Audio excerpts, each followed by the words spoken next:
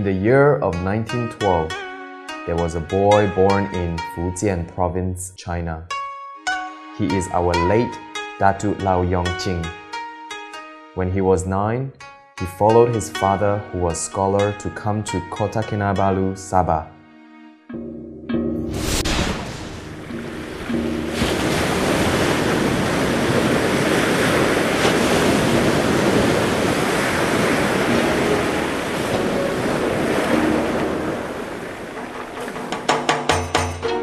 Datuk worked as general worker in a shop after growing up. He had been working very hard and his performance was highly appreciated by the boss of the shop. Soon, he was promoted as manager who was authorized to take care of the shop's operation. His money earned with sweat and tears was saved for a purpose. One day, Datuk Lau Yongqing received a letter from his hometown.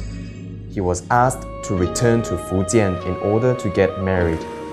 Thus, he left KK and returned to his place of origin.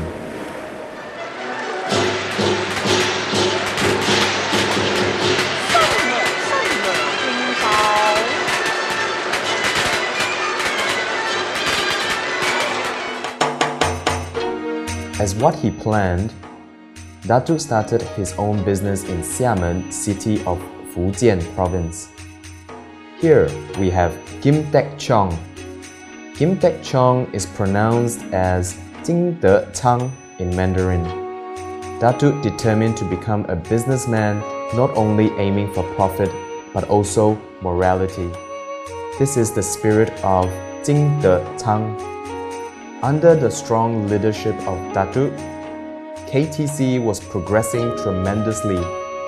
During the peak period, KTC was a three-story departmental store.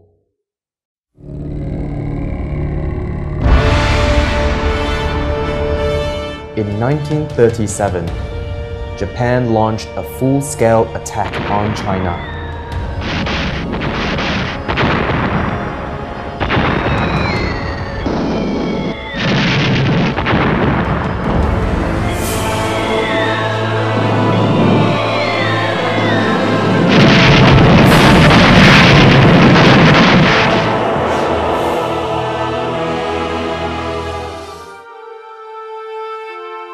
Datuk abandoned his property and ran for survival with the family. They hid in the forest and having a very tough life in the period of the war. Even life was difficult and unstable. Datuk never gave up his goal and determined to regain what he had lost. Finally, he decided to leave China and go to Nanyang again. This time, his feet stepped onto the ground of Papar.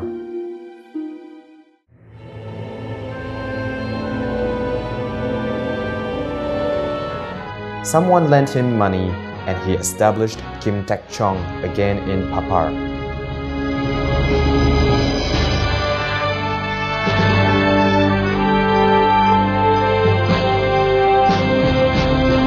Business was good until the Japanese attack.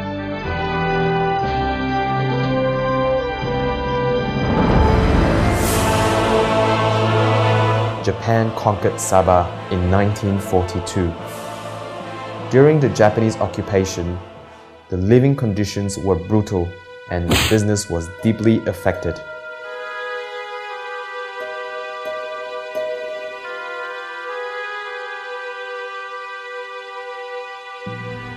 In 1945, Japan surrendered.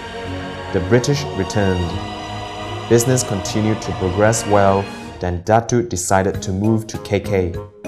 The family moved to Kota Kinabalu in the year of 1945. In Gaya Street, he set up Kim Teck Cheong for the business of clothes and cosmetics.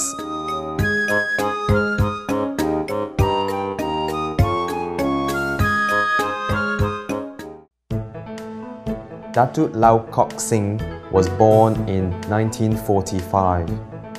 Since he was young, he learned the business managing skill from the father After he completed his education in KL, he officially joined KTC in year 1966.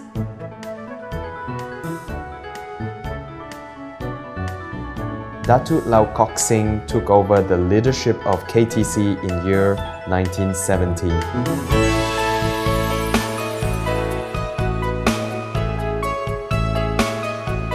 In 1973, the world oil crisis adversely affected the entire global economy. KTC business was badly affected due to the economy recession. Datu realized that he must make drastic decisions to survive through the economic crisis and bring KTC to another height of success. It wasn't easy to venture into a new industry. Many people turned him down, still he never gave up. He stood still every time he failed. Opportunities always given to people who are determined Datu successfully transformed the business from the initial retail business to FMCG distribution in 1980s.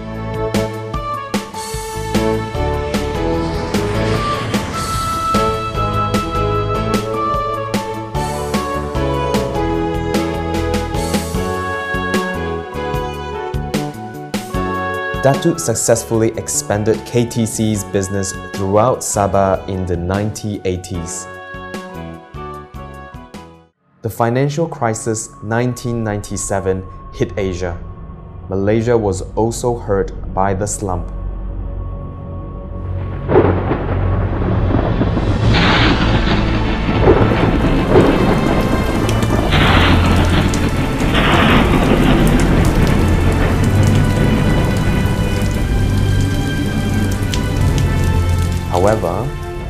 Under the strong leadership of Datu, KTC was once again survived through this economy crisis and reached another peak of success.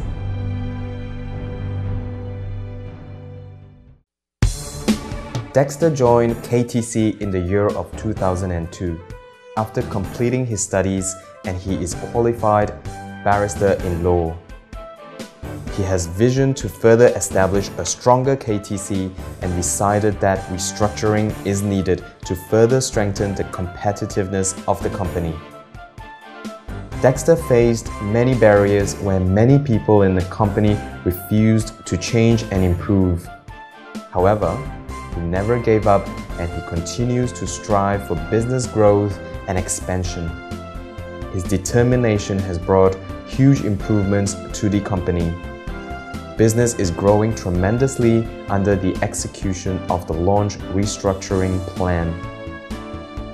Come, let me show you where will KTC be in the future.